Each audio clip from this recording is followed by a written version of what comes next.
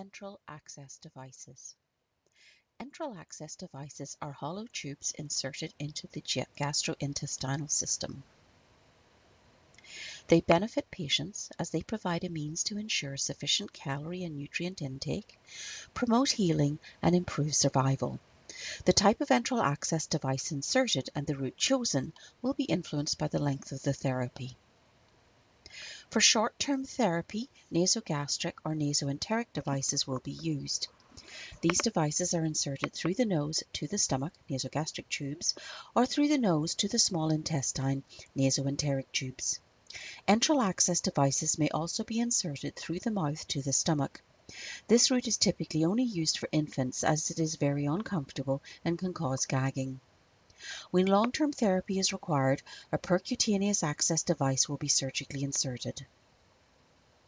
Nasogastric tubes have four main purposes.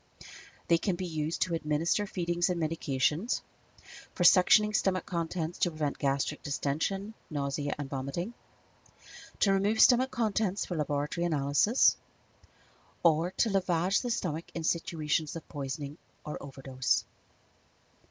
Many advanced nursing skills pose significant risk to patients if not performed with appropriate skill, knowledge, judgment, and competence. Passing an instrument beyond the larynx is a controlled act under the Regulated Health Professions Act.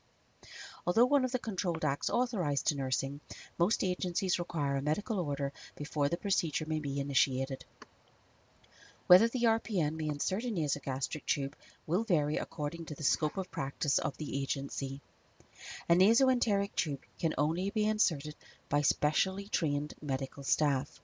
A percutaneous tube will be surgically inserted by a physician.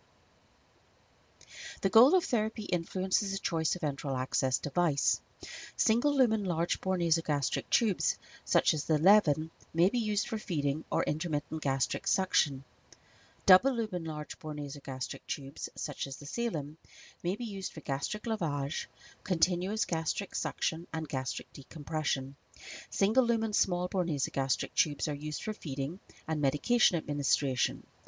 Percutaneous endoscopic gastrostomy and percutaneous endoscopic jejunostomy tubes are inserted for long-term feeding and medication administration. Prior to insertion of the nasogastric tube, the patient must be assessed for contraindications to the procedure. Contraindications for nasogastric insertion include recent nasal surgery, deviated septum, severe facial trauma or reconstruction, coagulation or bleeding abnormalities, altered or absent gag reflex, or the presence of esophageal varices. If no contraindications are present, explain the procedure and obtain the patient's consent. Prepare the tube, measure the tube, insert the tube, secure the tube, and document. To avoid tissue trauma during insertion, the tube must not be forced if resistance is felt. The tube should be withdrawn, relubricated, and reinserted through the other nostril. Once past the nasopharynx, the tube may coil up in the patient's throat or pass into the patient's trachea. In these situations, the patient will often cough and gag. The tube must be withdrawn until the tip is in the oropharynx. The tube should be reinserted while the patient flexes the neck and swallows small sips of fluid. Once reinserted, the tube should be clearly seen in the back of the oropharynx. When an enteral access device is inserted, placement must be confirmed by radiography. This is essential to ensure the tube is not misplaced. During insertion of a nasogastric or nasoenteric tube, the device may pass into the trachea or may fail to reach the stomach or duodenum. Tissue trauma and aspiration are complications associated with nasogastric tubes. Checking and verifying tube placement will occur on insertion. After insertion, placement must be checked at least once per shift, before feeding and before medication administration. There are four steps to placement verification. First, gastric secretions or intestinal fluid will be aspirated and visually examined.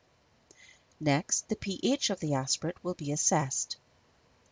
The third step requires auscultating the epigastric region while injecting 5 to 20 ml of air. Finally, the length of the tube inserted is confirmed by examining the insertion mark on the tube.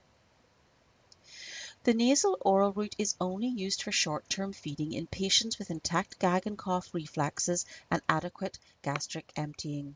When a patient requires long-term tube feeding, a percutaneous endoscopic gastrostomy peg tube will be inserted. The surgical opening is tightly sutured to prevent leakage, and care of this wound site requires surgical asepsis until it heals. There are a number of safety points with NG tube insertion. Prior to insertion, each tube must be measured to the patient to determine how far to insert the tube. Once inserted, the tube must be marked to indicate length and securely taped to the patient's nose. When inserting the tube, it must never be forced against resistance, otherwise tissue trauma may occur, including tissue tearing, perforation of the brain, sinuses, or esophagus. Only using one method of placement verification, such as injecting air through the tube to listen for whooshing or gurgling, does not guarantee tube placement. Placement of the tube must be confirmed every time the tube is accessed and at least once per shift, using four steps. The patient must be positioned appropriately to avoid aspiration and to promote digestion for feedings.